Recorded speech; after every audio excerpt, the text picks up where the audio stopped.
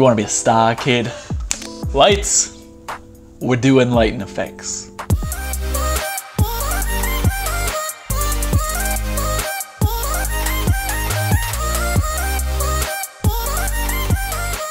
My name is Effect, and today is our fourth episode of our Adobe Premiere Pro crawl through every single effect.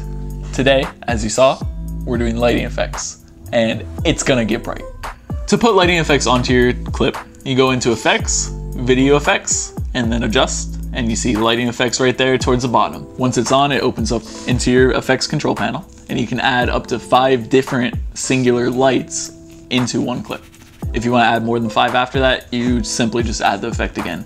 But for the love of God, please don't. They can be either spotlight, directional, or omni. So spotlight gives you an effect much like if you were pointing a flashlight.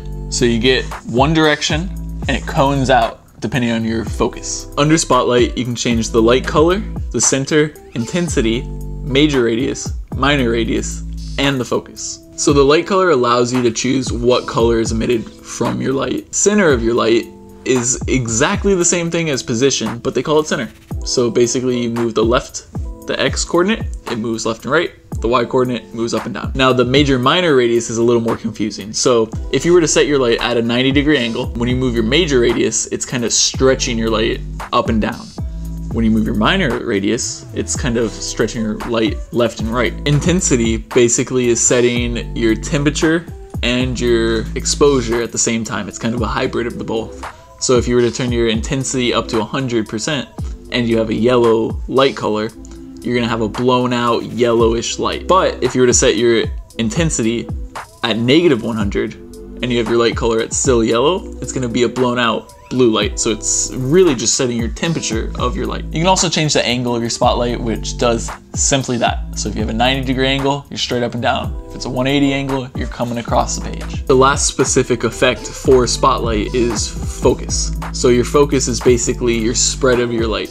So if you have a very narrow focus, your light's gonna go farther, but it's not gonna spill out as much. The next type of light you can use is directional. So directional has almost exactly the same effect controls as spotlight, except instead of major and minor radius, you have a projected radius, which acts like the exposure for directional. Directional light is basically an overcast over your entire clip. So think of it like an exposure over the entire clip that you can set the color of, and the intensity and the warmth. You can't change the angle, you can't change the size. You can't really change much with directional. So if you want an overcast over literally everything you have on your clip, use directional. Otherwise, you might be better off with Spotlight or Omni. The last type of light you can choose for this is called Omni.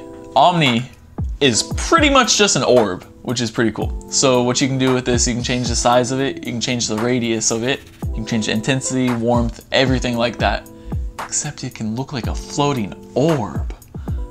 I'm a little excited for this. So like I said at the beginning, when we first added this effect to our clip, you can have up to five different lights at once per clip. So you can have a spotlight, an omni, another spotlight, a directional, literally however you want to do it. Aside from affecting each individual light, you can affect overall what's going on. So you can add an ambient light and choose the color of it.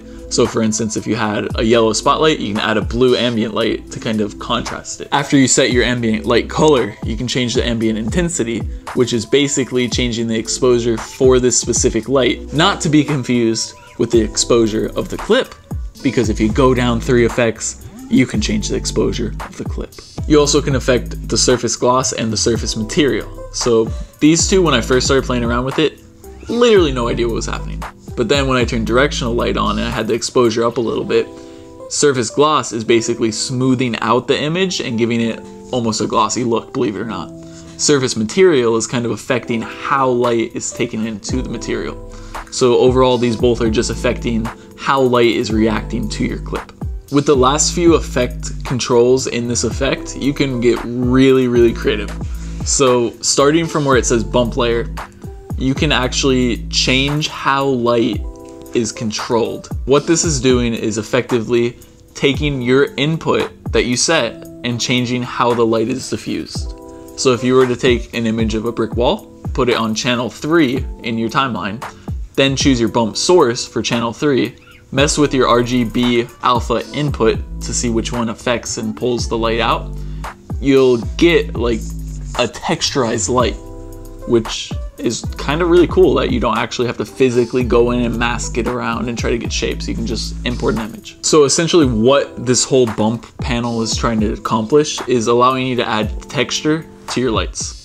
So if, if done right, you can take 2D light and make it look 3D. So you, if you have a table and you're having the light shine down on the table, you can texturize the light to the point where it looks like a 3D shadow without having to curve it and go in and manually do it all. So like every effect so far, we're trying to be a little creative with these. We're putting ourselves into a box, but trying to think outside the box.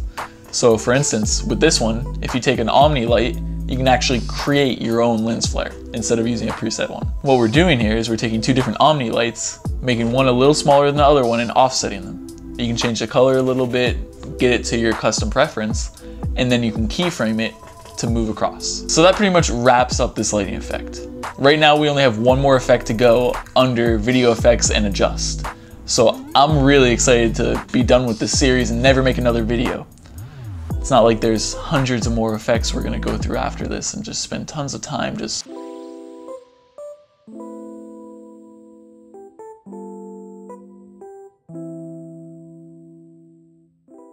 also subscribe.